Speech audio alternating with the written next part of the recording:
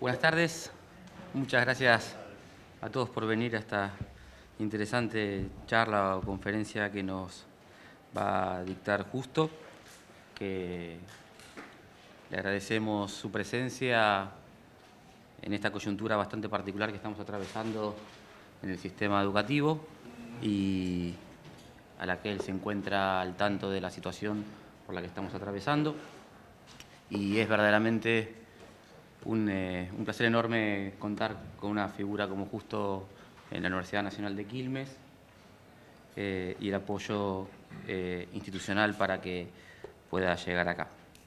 En principio, ya como saben, les voy a solicitar el tema de los teléfonos para que no haya una política distractiva y que prestemos bastante atención. Vamos a, arrancar con justo la conferencia y luego vamos a realizar una serie de preguntas que sería interesante que, podamos eh, propiciar. Voy a contarles en un momento quién es Justo, qué es lo que realiza en su actividad académica. Eh, Justo Serna Alonso, eh, es valenciano, nació en 1959, es catedrático en el Departamento de Historia Moderna y Contemporánea de la Facultad de Geografía e Historia de la Universidad de Valencia, eh, está especializado en historiografía, historia social y cultural y ha escrito una prolífica cantidad de... demasiada para él y a lo mejor es muy interesante para nosotros. Eh, entre ellos les voy a nombrar algunos, la ciudad extensa del 92, cómo se escribe la microhistoria del año 2000, que eso puede llegar a ser muy interesante, la historia cultural, autores, obras y lugares, diario de un burgués, la Europa del siglo XIX, vista por un valenciano distinguido, héroes alfabéticos y por qué hay que leer novelas, la imaginación histórica, el pasado no existe, ensayo sobre la historia, eh, de reciente publicación en el año 2016. Más acá hay monstruos, historia cultural, como podrán darse cuenta, eh, la producción de Justo es muy variada. Eh, también ha realizado una investigación muy interesante que le podemos preguntar sobre Bob Dylan. ¿No? Bob Dylan, ¿eh? ¿Sobre quién? Bueno, David Bowie, más o menos parecido. Sobre, y está trabajando ahora sobre damas gratis. Va, va, a, querer, va a querer realizar una publicación bueno, alguno de ellos era, ¿no?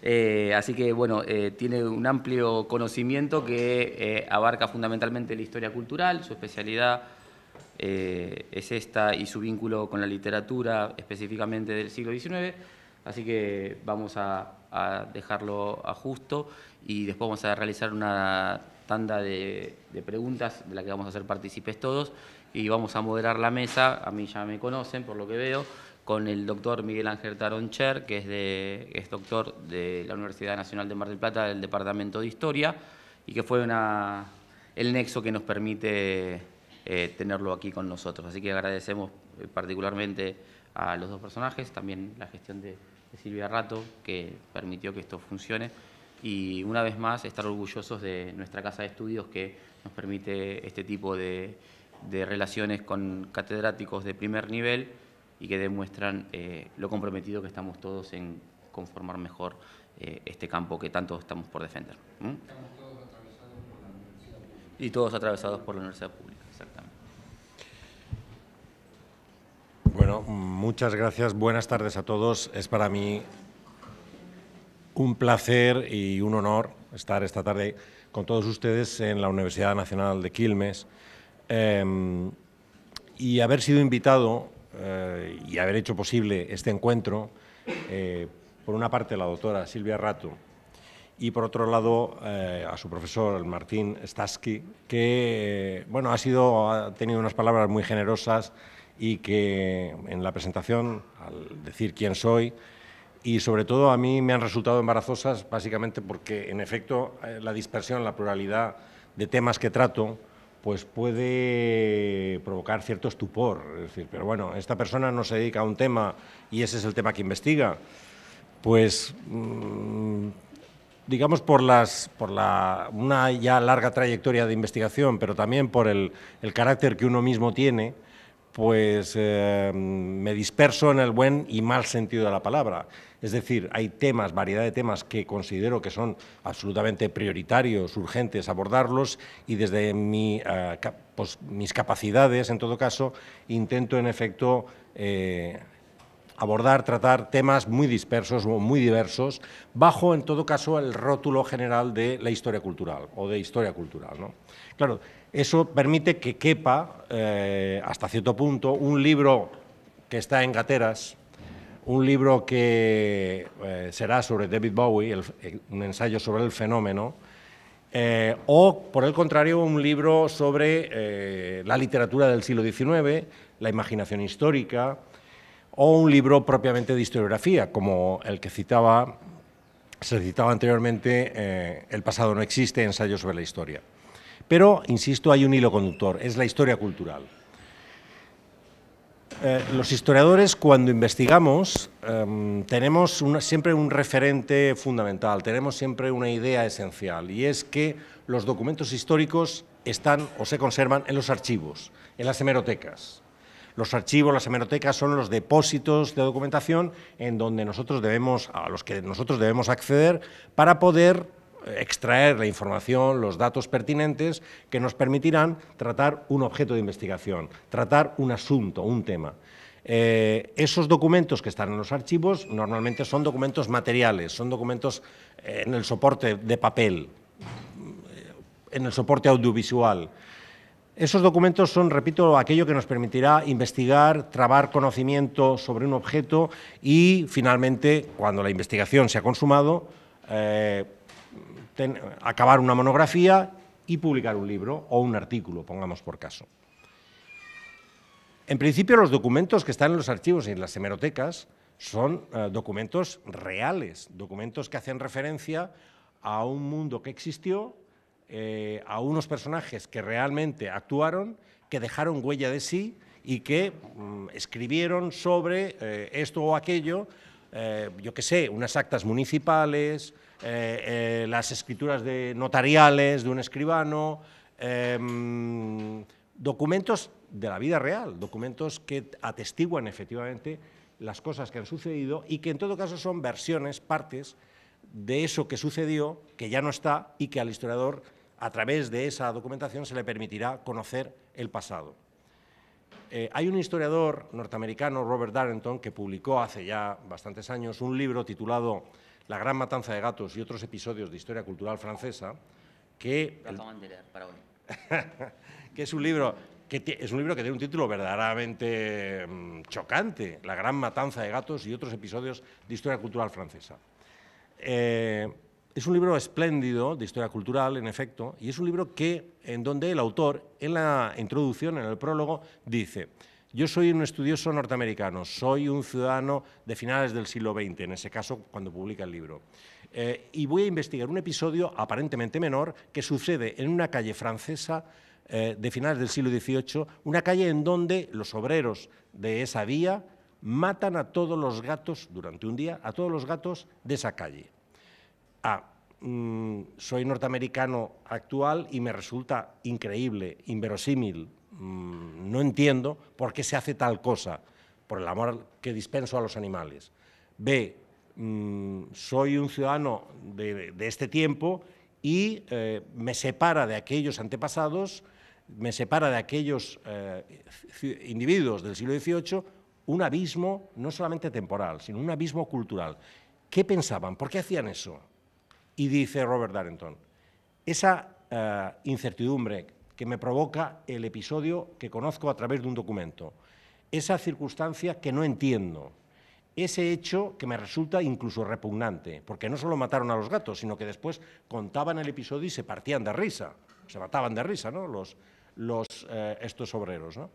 no lo entiendo, bueno, pues esa no comprensión, esa extrañeza que me produce el fenómeno es una vía de ingreso perfecto para, para llegar efectivamente al siglo XVIII. Es una exageración. A través de esa, fractura cultural no se llega al siglo XVIII. Pero eso ¿qué le permitía? Tratar de entender cómo pensaban, actuaban, qué, cómo sentían, eh, cómo vivían, por ejemplo, esos obreros. y qué les diferencia de nuestras formas de vida actuales, que es mucho generalizar, porque el mundo es muy diverso y por tanto no hay una única forma de pensar, de vivir, de amar, de sentir o de emocionarnos. Pero bueno, él lo decía en estos términos, porque no lo entiendo es por lo que puedo investigarlo. Bien, al fin y al cabo, eh, en ese ensayo, en esa monografía, en ese estudio, Robert Darrington se ocupaba de un fenómeno extraño, pero a través de documentos realmente existentes. Es decir, el episodio sucedió, el episodio ocurrió. Eh, la matanza de gatos, la masacre, efectivamente se ejecutó. ¿Qué ocurre cuando un historiador, un historiador cultural, un investigador, toma unos documentos sobre hechos que jamás sucedieron? Toma eh, una documentación, toma unas fuentes históricas de eh, personajes, situaciones, como digo, episodios que jamás acontecieron. Esos son, por ejemplo, las novelas. Las novelas, como sabemos, eh, es por antonomasia el género de la ficción, de la invención, de la fábula. Las novelas no tratan en principio de personajes reales. Las novelas en principio no reproducen hechos realmente ocurridos, sino que las novelas son fruto de la imaginación, de la fabulación, de la fantasía incluso de un autor, alguien que eh, se pone a escribir y que eh, con, su recurso, sus recursos culturales, su capacidad eh, expresiva, con su prosa, puede contarnos algo que jamás sucedió y que después los lectores eh, del siglo XIX, del siglo XX o del siglo XXI, los lectores después leeremos sabiendo que es una ficción. Si lo pensamos bien, es toda una paradoja. ¿Cómo es posible que nosotros los lectores leamos novelas si sabemos positivamente que, que no, jamás sucedió lo que se nos cuenta? ¿Cómo es posible que aceptemos todo eso? Lo aceptamos porque de las novelas recibimos, como lectores normales y corrientes, de, de las novelas recibimos eh, entretenimiento, diversión, nos atrapan y nos cautivan durante el tiempo que las leemos. Imaginemos una novela de terror, ¿no? Eh, una novela, pongamos, eh, de un autor actual, Stephen King.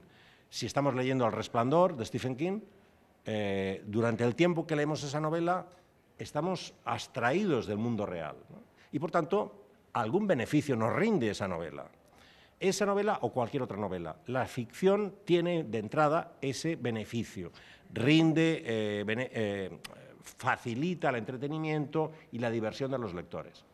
¿Los historiadores cuando se acercan a las novelas las leen en esta clave? No, no solamente.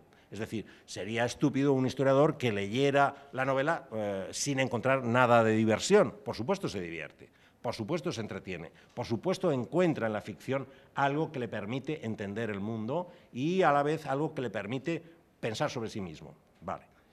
Pero los historiadores, además de este eh, rendimiento que le puedan dar las novelas, los historiadores investigan sobre ellas, pueden investigar sobre ellas, pueden investigar sobre el autor, sobre los autores, pueden investigar sobre esas obras literarias, pueden investigar sobre cómo está concebida y construida determinadas ficciones. Muy bien, eh, ¿y cómo se hace eso? El título de esta charla, de esta tarde, es eh, Los monstruos de la burguesía, si no me equivoco. Eh, es todo un reto el que se me ha planteado, los monstruos de la burguesía. Contra tu voluntad. En parte. En parte. Burgueses aparecía originariamente en el título, pero yo había, mm, había retirado la palabra monstruos que Nicolás la ha vuelto a incluir. Perdón, Martín. ¿Qué es eso de los monstruos de la burguesía? Miren, el siglo XIX es el siglo de la burguesía, como se repite tradicionalmente. Es el siglo del capitalismo, es el siglo de la revolución industrial, es el siglo del cambio económico profundo que lleva a la desaparición, por ejemplo, en Europa, del sistema feudal. Por tanto, eh, es el siglo de la sociedad del contrato, del contrato donde las personas pueden contratar libremente. Es la sociedad en donde, eh, me estoy refiriendo a Europa, en donde desaparecen los estamentos. Por tanto, esa sociedad estamental de órdenes desaparece y eso vendrá a sustituirlo la sociedad de los individuos. Individuos que, por supuesto, constituyen o constituirán clases sociales, como eh, muy bien señalará Karl Marx, pero son individuos que tienen derechos, derechos civiles de entrada, derechos para contratar, derechos para acordar. Ahora bien, el siglo XIX no solamente es esto, eh, es igualmente el siglo de la novela. ¿Es que acaso el género novelesco se inventa en el siglo XIX? Por supuesto que no. Podríamos remontarlo al siglo XV, al siglo XVI. Eh, es un género moderno, Menos mal que dijimos no los celulares, menos, ¿no? Menos mal. Doctor, menos mal.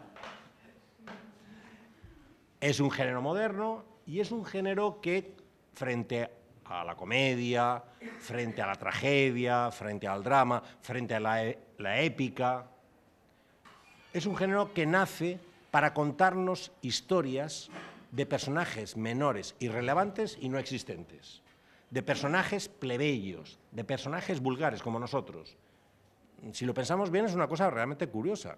Mm, ¿A quién le interesa saber la historia, por ejemplo, de un personaje llamado Lázaro de Tormes, Lazarillo, Lázaro de Tormes, que, bueno, vive en, la España paupérrima, en parte miserable, eh, del siglo XVI, y que mm, lo que nos cuenta es, bajo la forma de memorias, los bandazos, trompazos y trompicones que tuvo que soportar y vivir y aguantar a lo largo de su vida. Si lo pensamos bien, a nadie le importa eso. Es un personaje menor, no cambió la historia. Además, es un personaje inventado. Pues bien, desde el siglo XVI en adelante, ¿a quién le importa la historia eh, del Quijote? ¿Quién es Don Quijote? Un personaje inventado. Y un personaje además delirante. Es decir, alguien que, siendo Alonso Quijano, se cree un caballero andante y por tanto sale a batirse con sus enemigos. ¿no? Eh, Don Quijote luego volverá. Eh, Don Quijote no padecerá sin más delirio y ya está, sino que después recuperará la cordura y de algún modo delirante o cuerdo, Don Quijote es un personaje también irrelevante, es un pequeño hidalgo castellano de la Mancha, eh, en España en este caso un personaje inventado por Cervantes. Si transitamos de siglo y nos acercamos al siglo XIX, pensemos, por ejemplo, en pleno siglo XVIII, cuando se publica Robinson Crusoe. Yo creo que todos hemos oído hablar de Robinson Crusoe, hemos visto alguna versión cinematográfica o incluso alguna serie. Si recuerdan, Robinson Crusoe es ni más ni menos que un joven inglés que, desoyendo los consejos del padre, abandonando, por tanto, el núcleo familiar, se embarca, como tantos y tantos ingleses eh, hacían en aquel momento, está ambientada en el siglo XVII, pero está escrita en el siglo XVIII, se embarca y, mm, por azares del destino, naufraga. Y tiene que reordenar, recuperar, reconstruir su propia vida como náufrago en una isla. El personaje Robinson Crusoe existió, bueno, existió un personaje real, eh, en el que se inspiró el autor, Daniel Defoe, para contar la historia de Robinson. Pero Robinson Crusoe jamás existió y sin embargo es una de las novelas que han tenido mayor éxito a lo largo de la historia y que tantos y tantos lectores de generación en generación han leído. ¿Qué aporta Robinson Crusoe? Pues Robinson, entre otras cosas, es ah, un personaje que se sobrepone a sus miedos, a sus incapacidades y rehace el entorno material que lo rodea, lo rehace con los pecios del barco, con los restos del barco, empieza a construirse un entorno hospitalario y empieza a cazar y empieza a, cultivar. Por tanto, se está, digamos, rehaciendo el mundo a partir de su acción individual. Por supuesto, es una pura fabulación, por supuesto, es una pura invención. Ahora bien, esa fabulación, ambientada en el siglo XVII, escrita en el siglo XVIII, nos cuenta la historia de un personaje menor, insisto en este caso, de un náufrago. Bien, el siglo XIX, como antes señalaba, es el siglo de las transformaciones económicas, de la crisis del feudalismo, del régimen señorial, eh, y por tanto el momento de constitución, de difusión, de implantación del capitalismo, no solo en Europa, pero también en Europa. En paralelo, es el siglo en donde la novela se convierte en el gran género que más se lee, el género preferido de los lectores hay que partir de, una cuestión esencial, que es eh, el analfabetismo en la Europa del siglo XIX es amplísimo. Por tanto, eh, cuando digo que es el género que más se lee, lo leen los que están alfabetizados. Pero atención, la novela se lee en voz alta también, y en las calles también. Por tanto, la novela no solamente va destinada a quien lee, sino también a aquellos que pueden escucharla porque alguien en voz alta efectivamente cuenta esas cosas. ¿Y qué se cuenta en las novelas del siglo XIX? En las novelas del siglo XIX se cuentan, por ejemplo, podríamos decir que hay novelas familiares, novelas en donde se nos cuenta cómo eran las familias de aquel momento, novelas en donde se nos cuenta cómo eran las mujeres de aquel momento, novelas en donde se nos cuenta cómo eran los científicos, los aventureros, etc. Y hay novelas en el siglo XIX que están dedicadas y destinadas a contarnos cómo eran los monstruos los seres patológicos, los seres anómalos, los seres que eh, de algún modo rompían con el orden, rompían me refiero porque lo que hacían no era normal, rompían con el orden burgués, el orden capitalista, el orden social del momento. Pensemos en una novela que ha tenido múltiples eh, que ha tenido múltiples lectores y ha tenido versiones cinematográficas y ha sido una novela de la que el personaje se ha emancipado, ha salido de esa novela y ha estado en, otros soportes. Ustedes habrán oído mencionar a Frankenstein. Frankenstein le escribe una joven de 19 años, 18, 19 años, de 19. La publica en 1818 y no la puede publicar con su nombre. Primero por eh, la situación de discriminación de las mujeres en ese momento. Segundo, porque lo que se cuenta al editor le parece eh, estrafalario, extraño, casi diabólico. ¿Qué es lo que se cuenta? ¿Qué es lo que cuenta y escribe Mary eh, Shelley, que es la autora, en esa novela?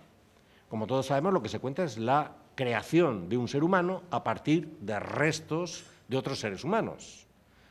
Restos, cadáveres que se cosen, se recosen y cuya composición, a, cuya composición se le dará vida con la electricidad. Por supuesto, eso jamás ocurrió. El, monstruo de Frankenstein jamás ocurrió. Eh, ocurrió, quiero decir, que jamás vivió, pero vivió la imaginación de Mary Shelley. Y Mary Shelley escribió una historia en donde alguien es un creador, alguien crea al monstruo. ¿Y quién lo crea? Víctor Frankenstein. Estamos acostumbrados a pensar que Frankenstein es el monstruo, pero en realidad el monstruo no tiene nombre, es la criatura. En la novela se le llama así, monstruo, criatura, criatura infernal, criatura diabólica. Eh, en realidad, eh, el apellido Frankenstein es la del eh, personaje principal, el protagonista, que es Víctor, que es médico, y que es eh, científico y que con las artes de la medicina y de la técnica es capaz de crear un monstruo. Atención, él no quiere crear un monstruo, quiere eh, ser como Dios, crear un ser vivo, eh, un ser racional y alguien que pueda vivir y convivir con otros. ¿Cuál es el resultado de su operación? El resultado de su operación es un ser repulsivo, su aspecto es repulsivo y por tanto nadie podrá, acercarse a él porque eh, efectivamente repele y porque da pánico, miedo. Dejemos de momento a Frankenstein y vayámonos al otro cabo del siglo, al final del siglo XIX. Vayámonos a 1897. En 1897 se publica probablemente otra de las grandes novelas de miedo, de terror, de monstruos eh, y que más impacto ha tenido en la cultura, en la cultura occidental, y que más versiones y visiones ha tenido y recepciones eh, desde que se publicó. Me refiero a Drácula, de Bram Stoker. Drácula de Bram Stoker es una novela, como todos sabemos, de vampiros. Concretamente, Drácula es el vampiro. Em, ¿En qué medida es un monstruo? Aprovecharé ahora para decir, por tanto, y definir qué es un monstruo en este contexto.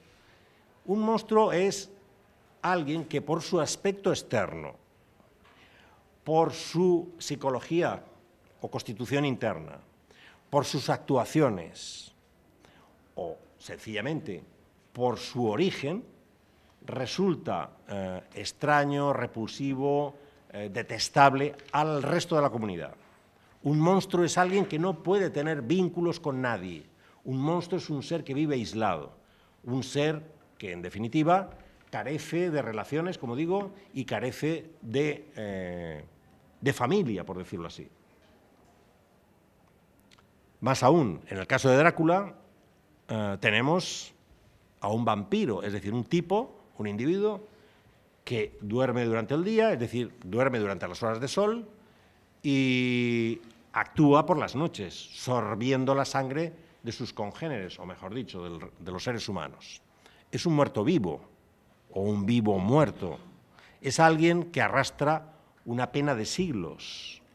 No sé si ustedes han visto han podido ver la versión cinematográfica de Francis Ford Coppola, eh, que es Drácula de Bram Stoker, bastante fiel, y en donde ahí vemos efectivamente que el personaje, eh, como digo, vive una especie de melancolía, porque eh, primero no puede insertarse en el mundo de los vivos, sería rechazado si se sabe qué es lo que hace, y por otro lado vive anclado eh, siglos atrás, lleva una especie de eternidad a cuestas. Pero Drácula es sobre todo y principalmente un noble es un noble feudal. Antes estaba hablando de la crisis del sistema feudal en Europa, antes estaba hablando de la crisis del sistema señorial, estaba hablando o mencionando el nacimiento y desarrollo y expansión del capitalismo. Drácula es un terrateniente de los Cárpatos, es mm, un hacendado y es alguien que, eh, bueno, pues fue un noble con vasallos. vive durante varios siglos, de hecho, en pleno siglo XIX sigue viviendo dentro de la ficción y tiene un propósito, un propósito realmente paradójico, que es convertirse en propietario capitalista. No en noble feudal, sino en propietario capitalista. ¿Qué es lo que desea? Lo que desea es trasladarse a la Gran Bretaña, el centro, el núcleo del capitalismo, y adquirir propiedades. Por tanto, eh, quiere pasar de noble feudal a propietario capitalista. Y en medio de todo esto, ¿qué es lo que hay? En medio de todo esto hay, eh, en medio me refiero entre Frankenstein y Drácula, lo que hay es un repertorio amplísimo de novelas, de relatos eh, góticos, como así se llamaron, que son ni más ni menos que invenciones de terror, de pánico, de miedo, que servían para qué. Si las novelas familiares servían para entender, ver y comprender cómo eran eh, los núcleos familiares en el siglo XIX, si las novelas de adulterio, donde, por ejemplo, Madame Bovary de Gustave Flaubert era eh, la novela por antonomasia para saber por qué las mujeres insatisfechas eh, abandonaban a los varones decepcionantes y buscaban a otros varones que los decepcionaban más todavía, ¿no? En fin, eh, si esas novelas servían para eso, para comprender, para entender, para husmear, por decirlo de alguna manera, y cotillear en el mundo a través de la ficción, el mundo de los otros, ¿para qué servían los monstruos? Porque francamente mm, el monstruo no tiene comunidad, el monstruo no tiene familia, el monstruo vive aislado, el monstruo da pánico, da miedo, y por tanto el terror que inspira al monstruo ¿Para qué sirve? Ahora les formulo yo una pregunta, por si alguien quiere, digamos, iniciar ya una especie de, em, diálogo. ¿Por qué vemos películas de terror? ¿Por qué leemos novelas de terror? ¿Por qué eh, vemos series televisivas de terror?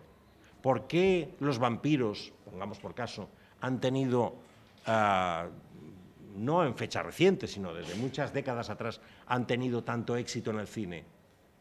Eh, ¿por qué los monstruos nos siguen atrayendo? ¿Por qué a la vez nos repelen y por otro lado nos cautivan de algún modo? No sé qué piensan ustedes.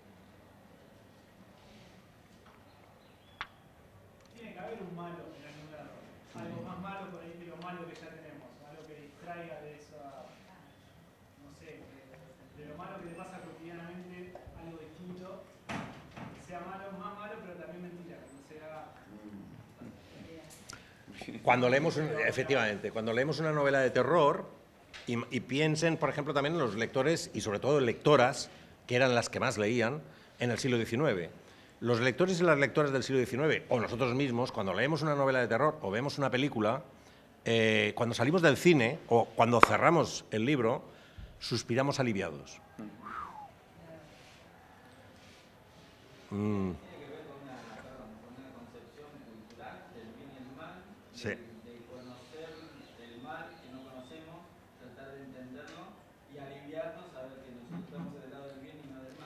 Digamos que podemos leerlo en esa clave, es decir, el mal está encarnado en la figura del monstruo, es patológico ah, y por tanto nosotros, por malos que seamos o por villanos o villanías o fechorías que podamos cometer, siempre habrá alguien en la ficción que eh, cometerá mayores fechorías y por tanto mm, podemos sentirnos aliviados porque nosotros representaríamos el bien y el malo, el monstruo, el mal. Pero atención, las novelas, concretamente estas que he mencionado, estas dos, por ceñirme a estas dos novelas, estas novelas plantean muchos problemas morales, la mar de interesantes. ¿En qué sentido? En que el monstruo eh, de Frankenstein es un tipo, un individuo, que quiere ser bueno. Él desea ser bueno. Es más, en algún momento le llega a decir a su creador, a Víctor Frankenstein, eh, soy malo porque soy desdichado. A ver, a ver si no, lo voy a decir bien. Víctor Frankenstein es al revés. Víctor Frankenstein le dice al monstruo, eres desdichado porque eres malo. Y el monstruo le responde, no, soy malo porque soy desdichado. ¿Y cuál es la desdicha del monstruo de Frankenstein? Primero que no tiene comunidad, vínculos, relaciones. ¿Cuál es la desdicha del monstruo? Que ha sido creado contra su voluntad, a partir de restos humanos. ¿Cabe mayor eh, tropelía, por decirlo así? ¿Cabe, mayor fechoría? La fechoría no la ha cometido el monstruo, la ha cometido el creador. Eh, ¿Por qué es desdichado? Pues porque em, él aprende a leer, aprende, eh, sorprendentemente aprenderá a leer, aprenderá los criterios morales de lo que es el bien y lo que es el mal, y sin embargo no podrá aplicárselos a sí mismo y aplicarlos en la sociedad porque no puede tener vida social. Por tanto, cuando Mary, Shelley publica este libro, tendrá una segunda edición en donde ella ya aparecerá con su nombre, cuando Mary Shelley publica este libro, nos está mostrando con una enorme ternura a un monstruo que, sin tener culpa, él no es culpable de lo que le está pasando, aunque finalmente cometa fechorías, por supuesto, sin tener culpa, es un monstruo que se plantea cuestiones morales, reflexiona, es prácticamente un filósofo, reflexiona acerca de la condición humana y por tanto reflexiona acerca de sí mismo y reflexiona acerca de cómo está constituida la sociedad. Por tanto, eh, efectivamente, eh, para nosotros lectores puede ser, y para los lectores del siglo XIX puede ser muy útil pensar que el mal lo encarna el monstruo y nosotros vivimos en el lado del bien. Pero la autora, concretamente de, esta novela, de esta novela, no nos lo plantea así y nos advierte, el monstruo padece, padece muchísimo, tiene una pesadumbre que no puede soportar y vive en la angustia y vive en la tristeza. Y uno no siente más que, si lo leemos en esa clave, uno no siente más que empatía, siente eh, conmiseración por la suerte del monstruo. Volvamos a Drácula. Eh, en cierta ocasión escribí eh, en, el volumen anteriormente citado Héroes Alfabéticos, eh, que era un, libro que yo ordenaba justamente eh, de manera alfabética eh, y trataba ciertos personajes literarios y decía por qué los historiadores debíamos leer novelas para aprender de las novelas ciertos rasgos culturales de cada época, en ese libro, Héroes Alfabéticos, mi primera voz o entrada como si fuera una enciclopedia, ¿no? como si fuera un diccionario. Mi primera voz o entrada era adúlteros o adúlteras. Y la última era vampiros. Mm, podría haber, si hoy hiciera ese libro, si hoy lo volviera a escribir, seguramente la última entrada sería zombies. ¿Y los extraterrestres? Los extraterrestres figuran. están dentro del libro. Em, que es otra forma de monstruos, otra forma de monstruos y que también sería muy interesante abordar, pero bueno, por no salirnos del guion. Drácula, bueno, podemos llegar a... Ah, bueno, lo decía por esto, porque eh, uno de los apartados de la, de la entrada, vampiros, lo titulé mm, mal, deliberadamente mal, como una mala traducción del inglés, simpatía por el vampiro. Es probable que alguno de ustedes recuerde la canción de los Rolling, eh, no por el vampiro, sino por el diablo. No es simpatía, la traducción correcta es compasión. ¿eh? Pero yo lo quise dejar eh, en esos términos porque era, digamos, la traducción, la mala traducción más difundida. ¿Cómo puede uno sentir simpatía o compasión por Drácula? vamos a ver, uno puede sentir simpatía o compasión por un monstruo que, desdichado él, ha sido creado contra su voluntad y que comete fechorías simplemente porque no puede vivir en sociedad. Pero ¿y Drácula? Mm, si uno siente compasión o simpatía por Drácula, lo que probablemente le ocurra es que le clave los colmillos, le sorba la sangre y lo convierta en vampiro. Eh, ¿En qué sentido nos puede, eh, podemos entender a Drácula? La clave interpretativa, o una de las claves interpretativas eh, de la novela, pero también del fenómeno Drácula, fenómeno cultural que no se ciñe solo o no se reduce solo a 1897, sino que, como digo, va a continuar a lo largo del siglo XX. Hay numerosas versiones de Drácula. Eh, la productora inglesa Hammer eh, hizo numerosísimas películas sobre Drácula, etcétera, etcétera. hasta llegar a Coppola, pongamos por caso o hasta llegar, por ejemplo, a Entrevista con el vampiro, que es una película preciosa eh, en donde los vampiros son melancólicos, viven tristemente, etc. ¿Qué podemos hacer con Drácula? ¿Cómo interpretarlo? Como he dicho antes, Drácula es un noble feudal que quiere convertirse en propietario capitalista. Es alguien que vive en los Cárpatos, es decir, en Oriente, entiéndame, en la Europa oriental, y que quiere ir a la Europa occidental. Por tanto, quiere, de algún modo, actualizarse, quiere modernizarse, quiere vivir en un mundo que no le corresponde. Está fuera de sitio. En realidad el problema de Drácula es que está fuera de sitio, está fuera de lugar.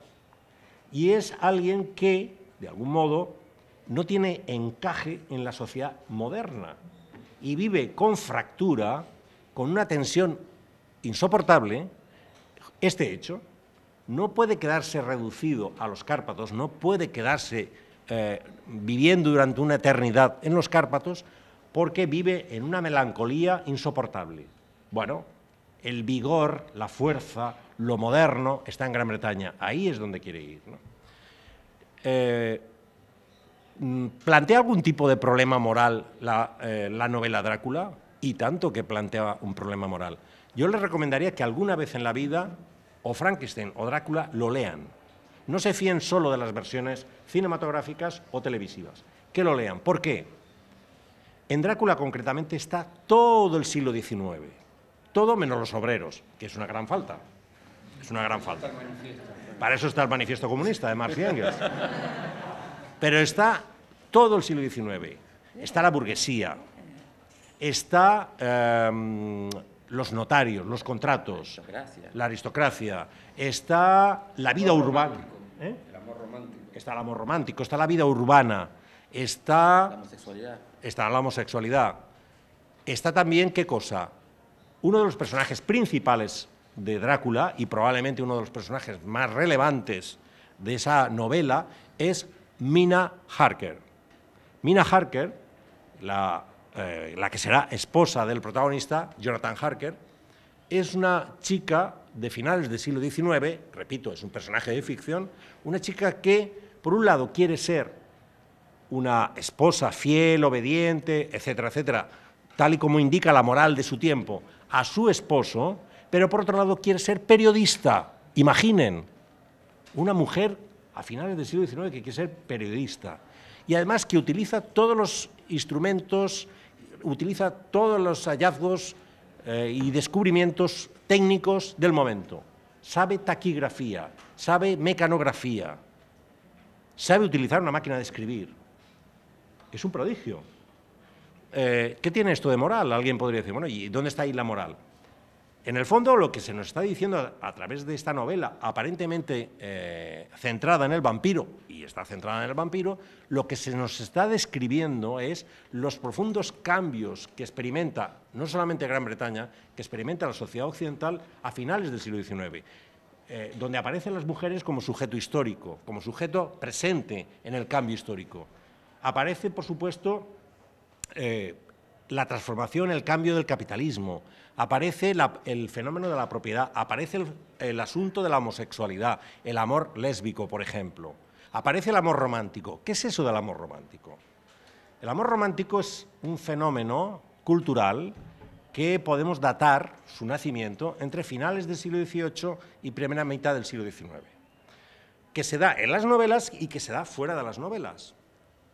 Tomemos un ejemplo antes citado, eh, Madame Bovary, de Gustave Flaubert, donde el personaje central, Emma Bovary, es una chica eh, que ha sido formada, educada para ser esposa, una chica que ha sido educada y formada para ser mm, una mujer eh, cultivada, pero cultivada con literatura, con música, pero nada más. Pero esta chica leyó novelitas eh, de dos peniques, leyó eh, literatura mm, amorosa, literatura sentimental, y se hizo un concepto del amor, de las relaciones, de las relaciones con los varones, centrado en lo que llamaríamos el amor romántico. El amor romántico no es ni más ni menos que, como definió un, otro personaje literario, en este caso de Rojo y Negro, de una novela de Stendhal, el amor romántico es aquel que no pasa por el patrimonio ni por el matrimonio, necesariamente.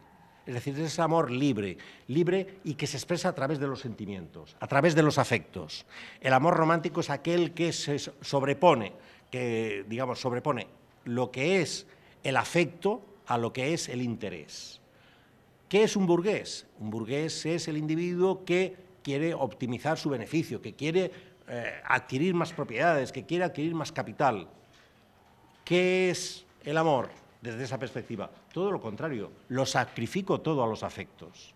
Bien, Emma Bovary leyó literatura romántica y ella misma se hizo una víctima del amor romántico y buscó eh, buscó varones que podían encarnar y representar el ideal del amor. Repito, todos le decepcionaron. Y mm, lamento este spoiler, voy a adelantar cómo acaba eh, Emma Bovary. ¿Cuál es el triste final de Emma Bovary? El triste final de Emma Bovary es un suicidio. ¿Por qué? Porque la realidad le ha decepcionado por completo. Hay un problema de desajuste. En el fondo, Emma Bovary es realmente también un monstruo. Entiéndame, no porque sea repulsiva, no lo es. Pero desde el punto de vista moral es un monstruo, porque no tiene encaje en su sociedad, porque es una mujer que no puede ver satisfechas sus metas, expectativas, y porque su propia sociedad la rechaza, es una adúltera. Si nos damos cuenta, la literatura no nos va a proporcionar información, datos concretos, datos exactos acerca de lo que es el mundo. Por supuesto que no. Pero la literatura nos ayuda, si la leemos en esta clave de historia cultural, nos ayuda a entender, como antes decía, en qué contexto se escriben las novelas, si son novelas, en qué contexto se leen las novelas y por qué después ciertas obras acaban convirtiéndose en obras clásicas y en, personajes clásicos. Drácula hoy en día, no me refiero a la novela, sino al personaje, es un clásico. El personaje. Lo es Madame Bovary, lo es eh, eh, el monstruo de Frankenstein, la criatura. Estas obras, que repito, en principio están pensadas para entretenerse y sobre todo para obtener unos beneficios por parte del autor, un rendimiento económico, pueden ayudarnos a doble, a, multiplicar nuestras vidas, a entender cómo piensan otros, cómo actúan otros, qué conceptos morales tienen. Alguno de ustedes muy bien me podría decir, bueno, pues hombre, en vez de leer eh, novelas que son ficción, pues leamos biografías para ver cómo se comportaban personajes reales en determinado contexto. No digo que no, las biografías también nos sirven para eso. Pero las novelas eh, como dijo Sigmund Freud, multiplica nuestras vidas y, por tanto, podemos ponernos en situaciones de riesgo absoluto. Imaginen un cazador de leones, si yo estoy viviendo, sintiendo y experimentando lo que un cazador de leones hacía en pleno siglo XIX en África, lo puedo estar viviendo y sintiendo. Pero, amigos, hay un alivio absoluto y es que cuando acaba la novela, yo regreso de la ficción al mundo real. Si permanezco en la ficción, deliro, seré delirante, pero yo vuelvo al mundo real. Y al volver al mundo real, por supuesto me siento aliviado, pero a la vez habré aprendido y me habré cuestionado a mí mismo y habré dicho, ¿qué habría hecho yo de estar en esa circunstancia? ¿Qué habría hecho yo de ser el monstruo de Frankenstein? ¿Qué habría hecho yo de ser Madame Bovary? ¿Cuál es mi, circunstancia hoy? ¿Y cuál era la circunstancia del personaje en ese contexto? ¿En el contexto del autor o de la autora o en el contexto de los personajes? No sé si esto de entrada sirve eh, para lo que queríamos, queríamos plantear esta tarde. Y no sé si ahora sería conveniente otra vez eh, dar mm, la palabra. Yo puedo seguir hablando. ¿eh? ¿Vos preferís que hagamos una tanda de preguntas? ¿Te gustaría? Sí, sí, me gustaría una. ¿Alguien tiene alguna pregunta para realizar? Yo tengo algo entonces. En realidad se me vinieron a la cabeza un montón de preguntas sobre cada cuestión que venís eh, planteando que me, resulta sumamente interesante. Empezaste tú, o en tus inicios hablaste de Dartón, de la gran matanza de gatos. Y tiene un capítulo muy interesante también ese texto, que son los cuentos de Mamá Oca. Efectivamente. En los cuentos de Mamá Oca, por si muchos no lo conocen, eh, Dartón lo que hace, como bien justo explicó con relación a, la gran matanza de gatos en la calle San Severín, eh, cómo la literatura sirve en la Edad Media como aleccionadora en términos de una reproducción social, económica o la manutención del status quo. Eh, ¿Qué sucede eso en el siglo XIX con este tipo de literatura? Eh, si eso es eh, justificar en cierta medida ese nuevo racionalismo científico, evolutivo, lo que Hoffman plantea la era del imperio, y qué se muestra, si lo que se muestra es verdaderamente lo que sucede o lo que no es. Porque pienso a lo mejor en los pintores renacentistas, eh, con esos gráficos de desnudez total, y cuando uno analiza en términos de la fuente histórica, eso era lo prohibido. Acá en Latinoamérica tenemos un libro muy interesante que va en esa tónica que vos planteás, que es del año 1973, que es de dos autores chilenos, único argentinos, Dorfman y Material, que es Cómo leer al pato Donald. Lo conozco. Y en ese texto lo que ellos plantean es que durante toda la, producción de Disney, lo que se intenta hacer es después es legitimar la visión norteamericana de los países del tercer mundo, fundamentalmente africanos y sudamericanos. Mi pregunta es, eh, efectivamente, ¿qué sucede en el siglo XIX en esta dinámica? Si es aleccionador, si cumple con la lógica de la reproducción del status quo, si verdaderamente lo que se muestra es lo que hay, si existe esta dinámica del amor romántico, si existe esta lógica de eh, la mujer tratando de ascender socialmente, eh, como Madame Bovary vos lo mostraste, y nosotros como historiadores, ¿cómo podemos utilizar esto como fuente? Claro, yo creo que la, clave fundamental es la de que eh, las novelas, siendo ficción, crean efectos de realidad. Primero porque los eh, leemos las novelas suspendiendo nuestra incredulidad. Es decir, eh, ¿verdad que a, muchos de nosotros más de una vez hemos tomado un libro en las manos y hemos empezado a leer y a la décima página decimos, se me cae el libro de las manos? ¿Por qué? ¿Qué es lo que ha ocurrido ahí? A lo mejor es porque eh, esa novela o el género al que dedicas tu tiempo en ese momento no es el adecuado. A lo mejor no es el momento más adecuado para leer esa novela, pero puede muy bien ocurrir que esa novela se te caiga de las manos, ese libro se te caiga de las manos sencillamente porque es inverosímil, porque es increíble, en el peor sentido de la expresión, porque no te la crees. ¿Qué es lo que hacemos los lectores cuando leemos ficciones? Cuando leemos ficciones, y de verdad funcionan, los lectores lo que hacemos es suspender nuestra incredulidad. Dicho en otros términos, sí, lo sé, es ficción, sí, lo sé, jamás ocurrió, sí, todo eso es cierto, pero lo, significativo, lo curioso o lo paradójico es que sabiendo que todo eso es falso, inventado, sin embargo lo voy a leer, voy a aceptar lo que me van a contar. Y lo voy a aceptar y lo voy a leer porque creo extraer de ahí algún tipo de lección. En el siglo XIX las novelas reflejaban el mundo real, mantenían el statu quo o por el contrario introducían elementos de eh, convulsión moral, introducían elementos peligrosos. Eh, las novelas a principios del siglo XIX, mm, hoy en día, por ejemplo, declararse novelista tiene prestigio social. La novela es un... Hasta algunos pueden vivir de eso. Eh, la novela eh, tiene crédito social, en el sentido de que bueno, es una creación artística, es una, una, creación literaria y, por tanto, eh, como tal, está avalada por el gusto, por el refinamiento, por la capacidad expresiva, etc.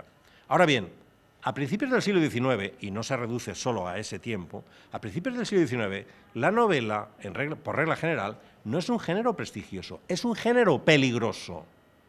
Peligroso para las mujeres.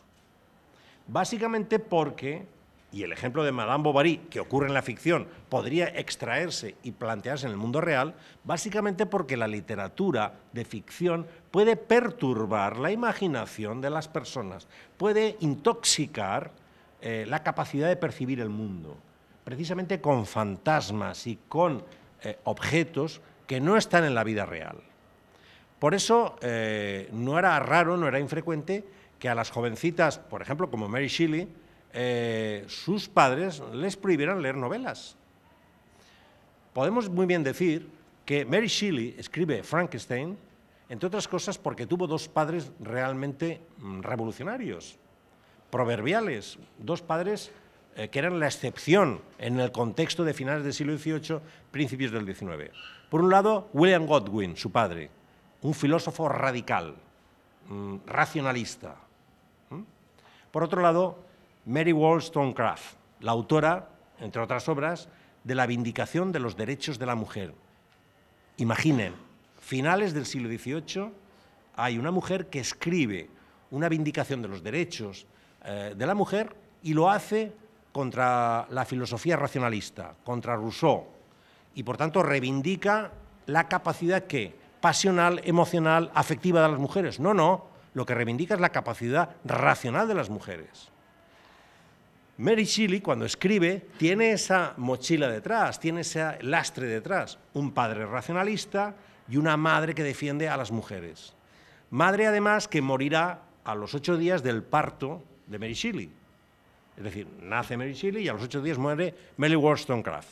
Imaginen la culpa, vamos a decirlo así, que de alguna manera pudo y, seguramente arrastró eh, Mary Shelley porque su madre había fallecido eh, como consecuencia del parto y porque ella vivió en un contexto en donde como mujer no podía expresarse, no podía desarrollarse, pero por otro lado sus padres mm, le habían creado un clima cultural muy favorecedor o muy favorable. Las novelas, en un cierto sentido, reflejan el mundo, en un cierto sentido mantienen el mundo y el statu quo, y en otro sentido pueden alterar el mundo. Pondré un ejemplo, en este caso no de las novelas, sino eh, de un personaje real. De un libro que, eh, desde el punto de vista historiográfico, es muy famoso y que ha tenido una enorme repercusión desde que se publicó en 1976 en italiano hasta nuestros días. Me refiero al Queso y los gusanos de Carlo Ginzburg. El Queso y los gusanos, donde el personaje central, si recuerdan, es un molinero del siglo XVI que habita eh, en una aldea del Friuli y que sabía leer, sabía leer, y que leía. ¿Qué cosas leía? Cuando Carlo Ginzburg hace esa investigación, se lleva una sorpresa uh, morrocotuda, si me permiten decirlo así. Eh, ¿Cuál es la sorpresa? Que los libros que leía eran obras piadosas, obras que mantenían el statu quo moral, obras en absoluto radicales, obras que eh, no alteraban el orden de las cosas. Pero atención, el personaje, el molinero, Domenico Scandella, llamado Menocchio, el personaje las lee alterando el sentido y el contenido de las obras. Las lee introduciendo una hermenéutica completamente distinta, introduciendo una interpretación completamente distinta. Más que interpretarlas y leerlas correctamente, lo que hace es usarlas. Y de ese uso de la no, no es la novela, de las, de las obras piadosas, del uso incorrecto de las obras piadosas y de otras fuentes, Menocchio elabora una concepción del mundo. La concepción del mundo según la cual el mundo se creó como un inmenso queso del que a través de la fermentación salieron los gusanos. Por supuesto, estas ideas estrafalarias le costaron eh, la muerte. Es decir, los inquisidores lo persiguieron y lo sometieron a inquisición. Y en un determinado momento, cuando el inquisidor interrogaba a Menocchio, eh, el, inquisidor le pregunta por Dios. Dice, ah, mm, permítame eh, esta forma eh, muy lejana de la expresión real, pero que sirve para entendernos. A ver, a ver, a ver, a ver, a ver, me está usted diciendo, no se expresaba así el inquisidor, me está usted diciendo que el mundo apareció como un inmenso queso y que de la fermentación salieron los gusanos. Sí. ¿Y los gusanos quiénes eran? Los hombres. Ya. ¿Y Dios? No, Dios no. Es decir, Dios no tenía papel. ¿Qué le estaba diciendo indebidamente al inquisidor?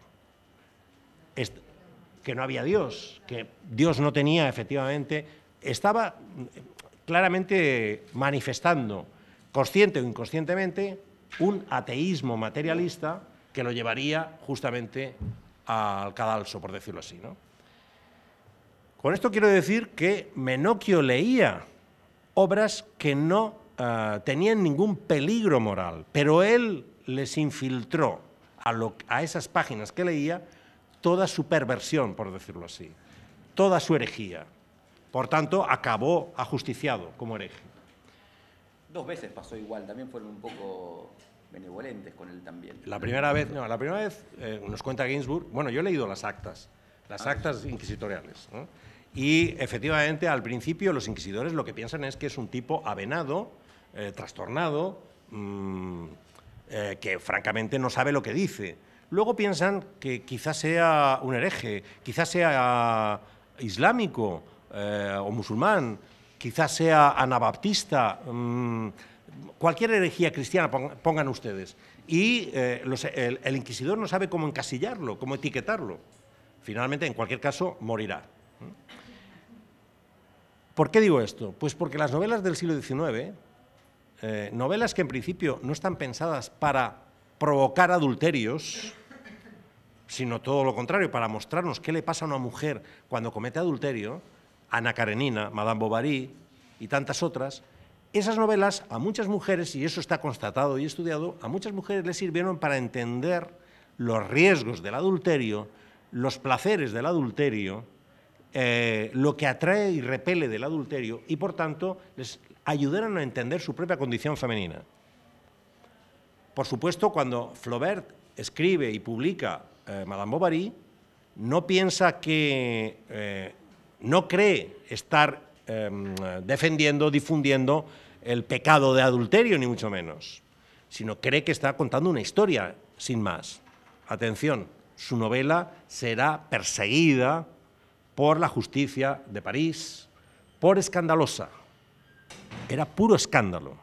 Es decir, eh, el mantenimiento del statu quo o la convulsión lo puede provocar, lo puede provocar la obra en sí misma, pero lo pueden provocar también los lectores.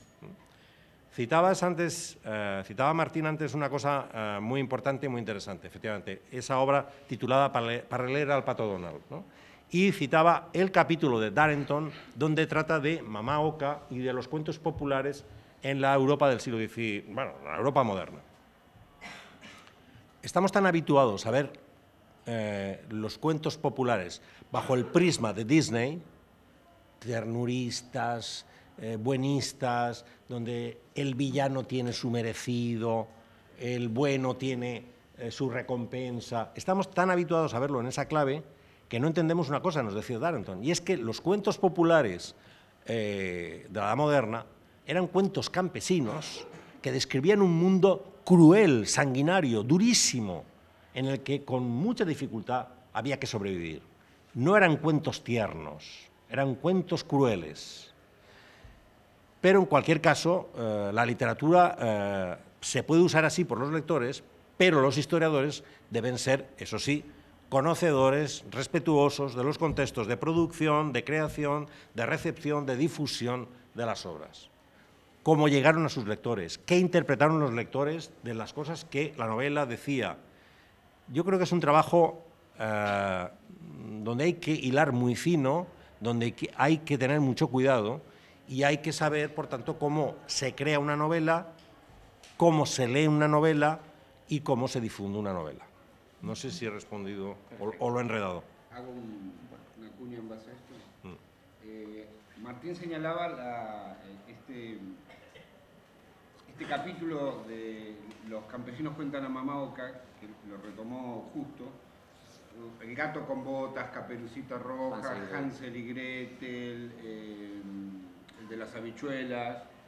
Eh, en realidad eran muy sangrientos porque eran cuentos los padres codificaron la, realidad, la experiencia para enseñarle a los hijos lo que les podía pasar en ese mundo sumamente cruel y despiadado que era el mundo del antiguo régimen, eh, donde eh, los bosques eran un peligro, donde, eh, y eso lo vemos en Hansel y Gretel, no solo había bandidos y alimañas feroces, sino que los padres que tenían muchos más hijos de los que podían sustentar, los echaban al bosque para, exterminarlos y así restablecer una economía familiar, por ejemplo. Eh, y aparece mucho siempre cuando les piden a las hadas comida, porque nunca veían carnes, eran vegetarianos a la fuerza. Bueno, entonces eh, en esos sueños lo que se pide es comida. Eh, estas versiones edulcoradas es las que llegaron también en el siglo XIX, las que las nanas, las que las mujeres que cuidaban los hijos de, de las clases altas, les contaban, pero estaban tamizadas. O sea, después cuando los folcloristas en el siglo XIX los codifican, lo que hace Darton es comparar la versión original de las versiones orales, ¿no? o las que llegaron los cuentos del siglo XIX. Finalmente, los cuentos eran mapas para enseñarle a sus hijos cómo manejarse en un mundo cruel. Esos cuentos eh, que servían para, es como un mapa para tratar de sobrevivir en ese mundo cruel tenían una función social. La novela, ¿qué función social tenía en el 19? ¿Qué se quería enseñar? ¿A qué apuntaban? ¿no? Porque también hay un fin práctico, además de la creación literaria, que no era que tenían esos cuentos y consejos. Perdón, y otra cuestión ahí con lo que estaba planteando Miguel. Yo ya hace mucho lo leí, pero si mal no recuerdo, en los cuentos de Mamaoka, eh, lo que termina sucediendo es a lo largo de los siglos el relato oral, como vos lo planteás, que viene ya heredado, si no recuerdo, ya de la Edad Media, y lo que se hace es codificarlo después, los hermanos Grimm lo, terminan cambiando, y después, bueno, viene, viene Disney sobre eso. Y es interesante porque si esto es así, está atravesando dos eh, sistemas económicos. En cambio, lo que planteaba justo en esa óptica, que tiene que ver con lo que vos eh, estás analizando, es un sistema capitalista que está en formación y legitimación también. Entonces, eh, ahí me parece que el papel de la novela, espero la respuesta, a ver cómo lo, puede ver justo. Te matamos ahí. bueno, yo creo que la, función de la novela, pongamos en el siglo XIX, claramente es, eh, de, entrada, de entrada, entretener a sus destinatarios, destinatarias. ¿eh? Entretener a quienes son sus primeros lectores y por tanto pueden obtener placer, fruición de esa lectura. Pueden obtener lección, enseñanzas morales y pueden aprender, mm, en otro sentido diferente al que señalaba Miguel Ángel, eh, pueden aprender qué es la vida y lo que te juegas con la vida. ¿Verdad que cuando salimos actualmente de ver una película en el cine o cuando la vemos en nuestras pantallas de televisión, eh, por un lado podemos decir, bueno, sí me ha entretenido, pero normalmente sacamos lección. Eh, por muy inverosímil que sea, por muy increíble que puedan ser los hechos que se presentan, se muestran o se narran en una novela, sacamos eh, lección. Y eso quiere decir que nos planteamos, nos interrogamos sobre nosotros mismos. En pleno siglo XIX, por supuesto hay novelas absolutamente rutinarias, vulgares, que no suscitan eh, conmoción alguna y que son remedo, copia eh, o repetición de lo que son las grandes novelas pero no necesariamente porque, em, digamos, las copien de forma deliberada, sino porque reproducen de manera rutinaria un esquema narrativo. Voy a poner un ejemplo que suelo poner habitualmente y que Umberto Eco, el gran estudioso italiano, ah, trató, entre otras partes, en un libro suyo titulado El superhombre de masas. La novela a la que aludo es una novela río, una novela larguísima que yo, repito, leí eh, en su momento y era soporífera, era aburridísima una novela en cinco volúmenes titulada Los misterios de París.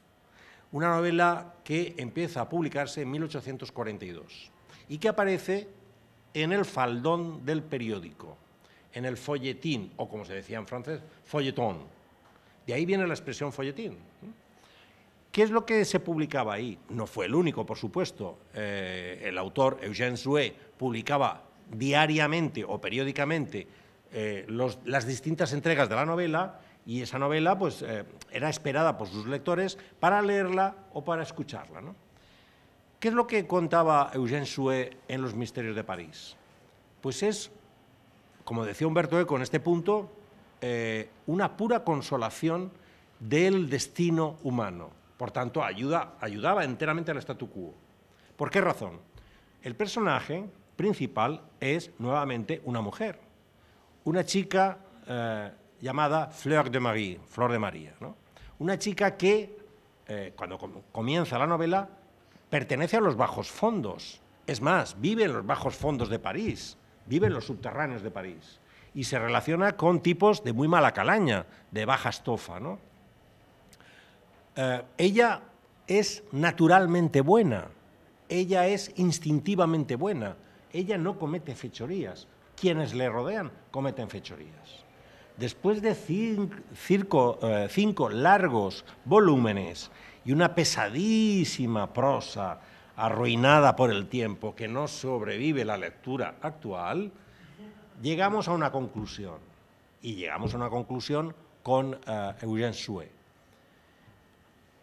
Eh, Flor de María, en el fondo, era una princesa era una chica nacida en una familia distinguida, pero al nacer fue equivocada la cuna y por tanto se puso en una cuna eh, eh, errónea, eh, de pobres. Por tanto, ella instintivamente, naturalmente era buena. Al final de la novela, al final, descubriremos, ella descubrirá que es una mujer distinguida. Lo fue siempre le viene del linaje, le viene de cuna, mejor dicho, de cuna no le viene porque estaba equivocada. De cuna cambiada le viene. Estaba cambiada, de cuna cambiada. ¿Qué es esta novela? Por supuesto, esta novela puede leerse hoy en día solo desde una perspectiva filológica, histórica, eh, como desde una eh, perspectiva erudita. No les recomiendo que la lean para entretenerse pero en el siglo XIX era verosímil, era creíble y era aceptada. ¿Por qué? Porque respondía al esquema tradicional de los cuentos. ¿Y cuál es el esquema tradicional de los cuentos? Aplicado en este caso a la novela. En los cuentos hay un héroe o una heroína, hay un villano, hay un falso héroe, hay un donante, un ayudante, hay un falso ayudante y hay traidores el cuento ayuda a entender qué es el mundo, cuáles son las virtudes morales, pero el cuento, este esquema que yo les he presentado, sirve para, para llegar a una conclusión. Los malos tienen su merecido, los buenos tienen su recompensa y a cada cual lo suyo. Bien, por supuesto, mantiene, esa novela sirve para mantener y consolar la pobreza y la miseria del mundo caso de la adúltera podríamos leerlo en una clave similar. Por ejemplo, el peligro, la monstruosidad de la adúltera tendría que ver con que es una acechanza que pone en crisis una forma de familia que fun funcionara un nuevo orden, eh, que la tensa para después confirmarla eh, finalmente y que ese peligro del placer autónomo femenino es sancionado con el suicidio, con un mal fin, con, un equívoco. Sí, eh, Ana Karenina, eh, en el caso de la novela de Tolstoy, Ana Karenina mm, mentiría si yo dijera que no se tira las vías del tren, se tira las vías del tren. Eh, en el caso de Emma Bovary, mentiría si dijera que no toma un veneno. En fin, ¿para qué sirve la figura de la mujer adúltera en esas novelas? Como bien decía Miguel Ángel, sirve para, por un lado, para entender que el orden familiar puede verse alterado, vulnerado, puesto en peligro por la conducta autónoma de las mujeres. ¿Cuál es el modelo familiar que en esa Europa eh, decimonónica triunfa? Por abreviar y por hacerlo lo más sencillo posible, diríamos que es lo que los historiadores de la familia han llamado la familia nuclear, la unidad doméstica simple o conyugal. Triunfará. Y eso implica o significa que eh, hay, por supuesto, una posición de sujeción absoluta de la mujer en esa circunstancia. Como tantas veces se ha repetido, la mujer es el ángel del hogar y, por tanto, no tiene eh, no tiene capacidad legal.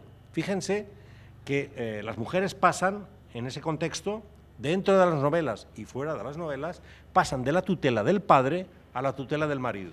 Solo cuando son viudas pueden tener una actividad económica eh, realmente autónoma. la viudez es la libertad en ese caso. Es decir, matar al marido. Matar al marido. Bueno. Hoy no, sé si es la, hoy no sé si es la solución. Claro, si se dan cuenta, en, la literatura, en el cine, en la creación, los varones cuando tienen que eh, aplicar la muerte, cuando tienen que ejecutar, suelen ser violentos. En cambio, la mujer utiliza artes más sutiles, el, em, envenenamiento, por ejemplo, lento. ¿no? Eh, no estoy juzgando moralmente el asunto, estoy diciendo lo que eh, bueno, en las obras de creación suele suceder, ¿no? Bien, yo creo que las novelas nos ayudan a ver de manera más compleja el mundo, en el siglo XIX y ahora. Igual que eh, sería muy estúpido de mi parte si dijera que la televisión es un mal producto y que las series televisivas no sirven para nada. Si hay un producto sofisticado, pero que a la vez nos ayuda a entender de manera muy fina qué era la Norteamérica de finales de los 50 y principios de los 60 es Mad Men. Porque lo que se cuenta allí es real. No, a ver, no es real. Los varones beben como cosacos, están tomando whisky constantemente, fumando constantemente, pero nos ayudan, eh, es una exageración, es una hipérbole que a los espectadores nos sirve para entender cómo eh, en el fondo se desenvolvían. Hay una secuencia eh, en la primera temporada de Mad Men que a mí me impactó muchísimo, ¿no? y es muy, tontorrona, muy simple. Bueno, la, Don Draper, que es el, personaje principal, y Bets, su mujer, y su hijita en aquel momento, y su hijito también, se van de picnic, van a comerse una merienda al campo. Bien, eh, por supuesto, Don Draper no pega palo al agua, como decimos en España, es decir, no hace nada. Quien extiende la manta o el mantel para poder sentarse en el campo es eh, Betty, Bets. Em, comen, beben y cuando acaba la cosa, eh, ¿quién va a retirar, por supuesto, el mantel? Betty. Pero ¿qué es lo que hace Betty?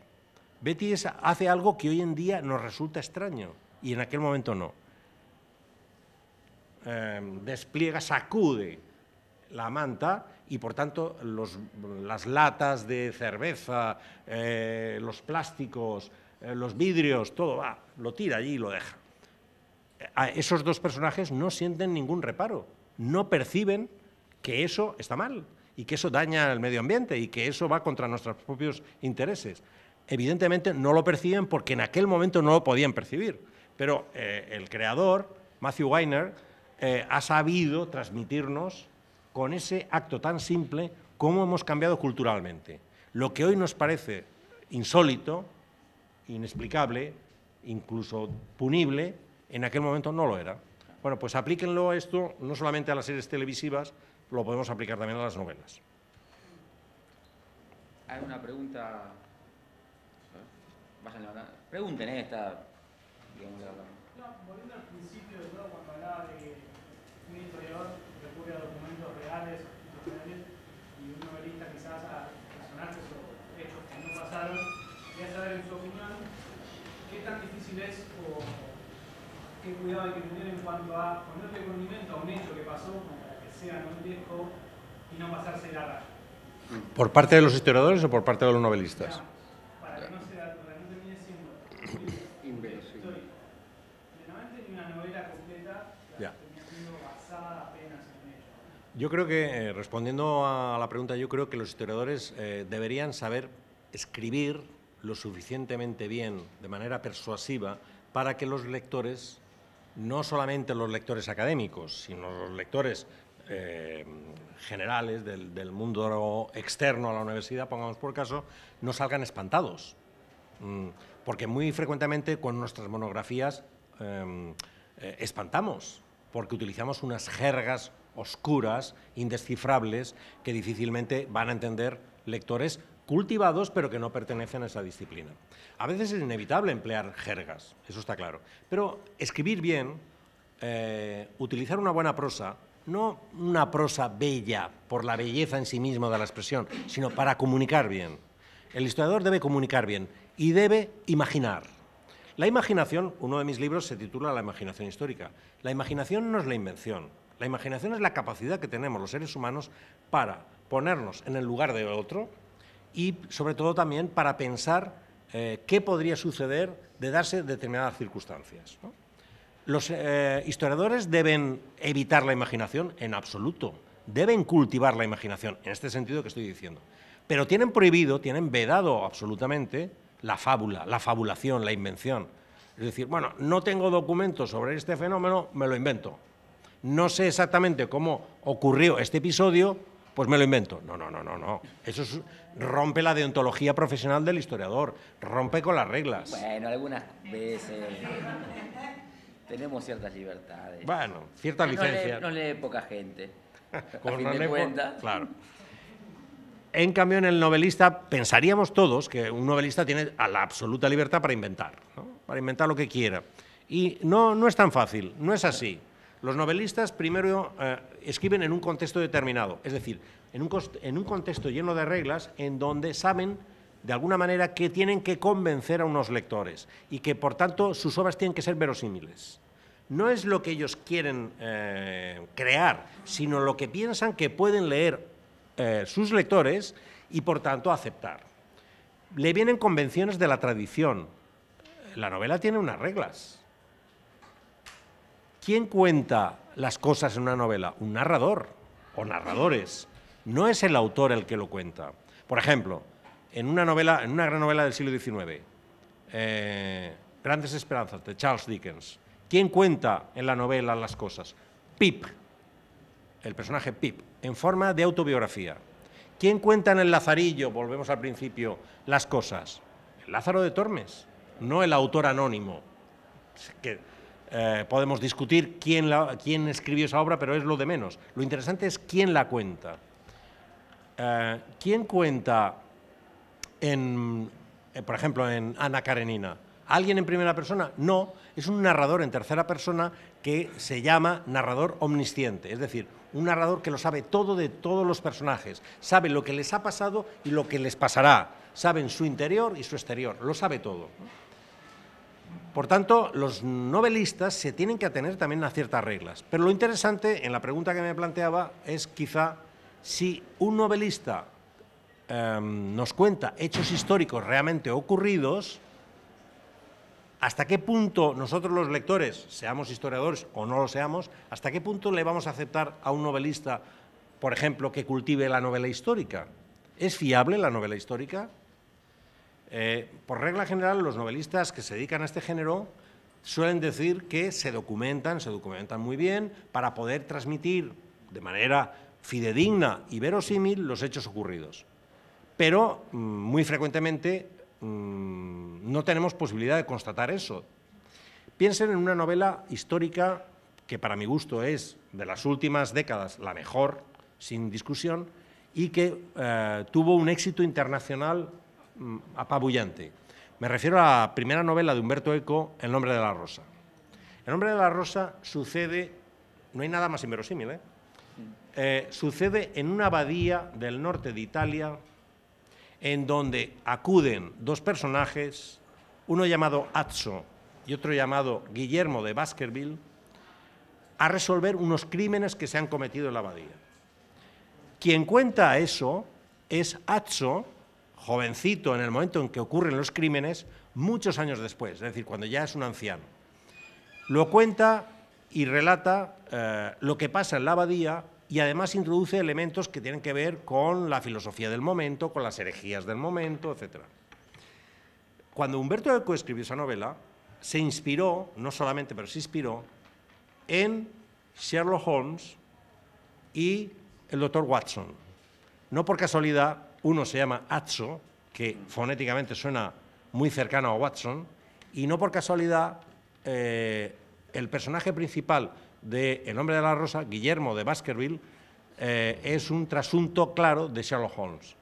Sherlock Holmes, perdón, Sir Arthur Conan Doyle, el autor de las novelas de Sherlock Holmes, tiene una obra que se titula El sabueso de los Baskerville y por otro lado es también Guillermo, ¿por qué le pone Guillermo? Pues por el filósofo bajo medieval Guillermo de Ockham.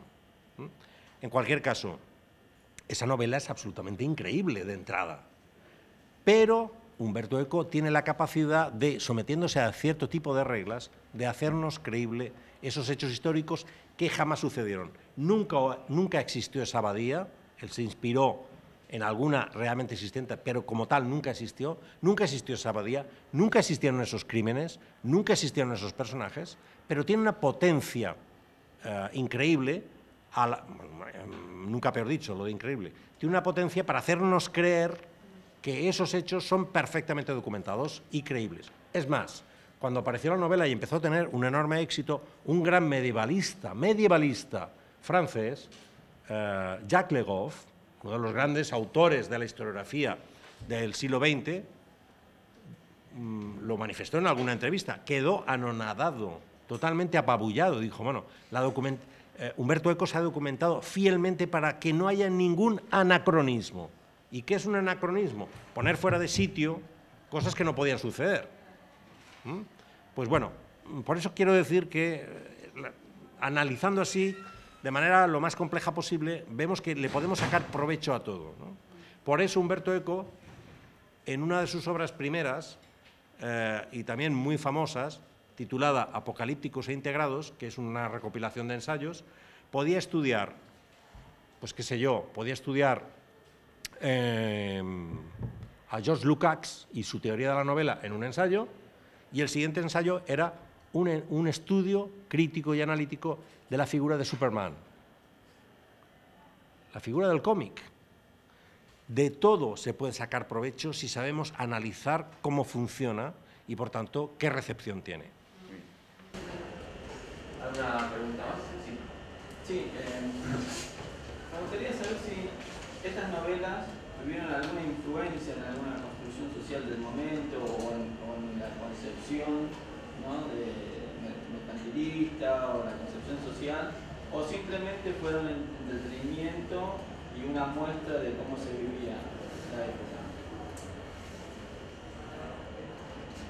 Hombre, efecto efecto tuvieron en el sentido de que en el momento hay alguien que la lee, lee esas novelas y de algún modo puede actuar, tomar decisiones, pensar a partir de lo que es una ficción, tiene efectos, tiene consecuencias.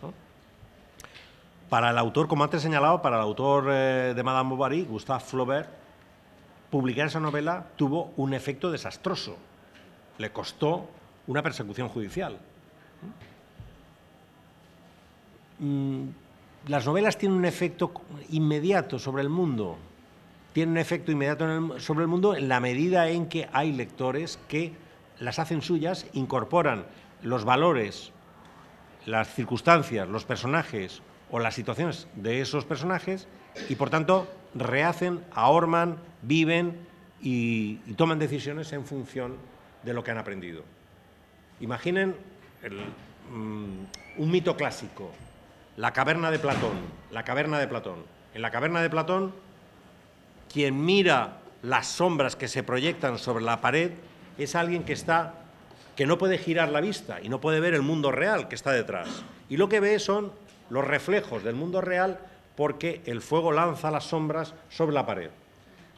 Esa persona que está mirando, es un mito, ¿eh? mito de Platón, esa persona que está mirando la pared creerá que ese es el mundo real y pensará en términos de sombras.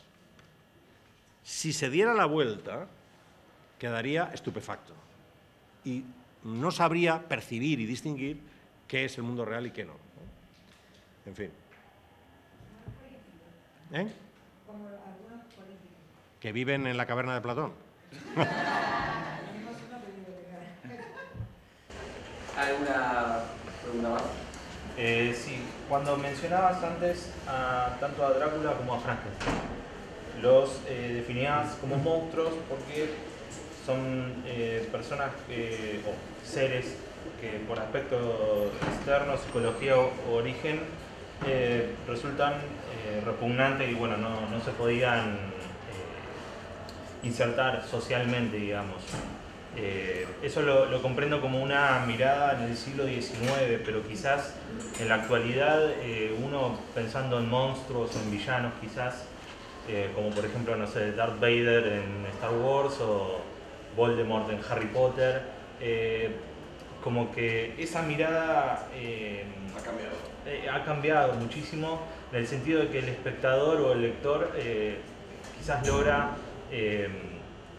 se siente más asemejado, digamos, se siente más parecido al villano o al malo que al héroe o el bueno. Este, incluso en Harry Potter hay muchísima gente que tiene más afecto por la casa de Slytherin, que es la, la mala en cuestión, que por las otras por las demás. ¿Vos crees que esto es un, fenómeno social que, bueno, que se ha eh, mostrado en la, sociedad? ¿Por qué crees que, sucede? Bueno, eh, yo antes decía que eh, en ese libro que mencionaba, ese libro propio, Eres Alfabéticos, cuando hablaba de los vampiros, uno de los apartados lo titulé en esa mala traducción Simpatía por el vampiro o compasión, como sería más correcto, por el vampiro. Es decir, nuestra moral actual nos permite efectivamente ver a los monstruos con simpatía o compasión porque la moral ha cambiado, porque el clima cultural en el que nos desenvolvemos es totalmente distinto.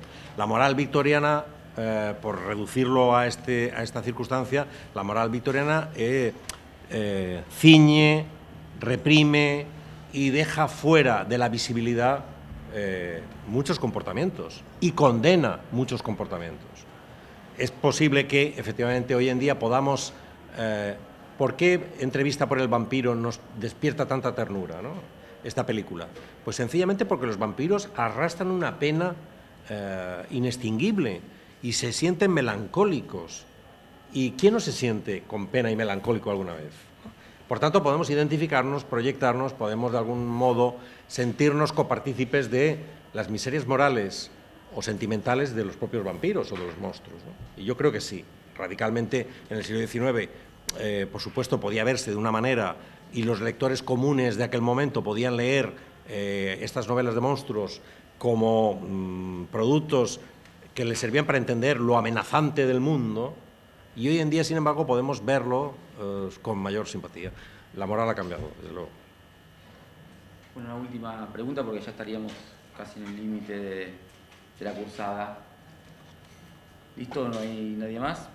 Bueno, entonces eh, cerramos, agradecemos a Justo esta charla que me parece que fue muy eh, iluminadora para todos, realmente fue un placer y lo mínimo que vamos a hacer es hacerle un gran aplauso y agradecer también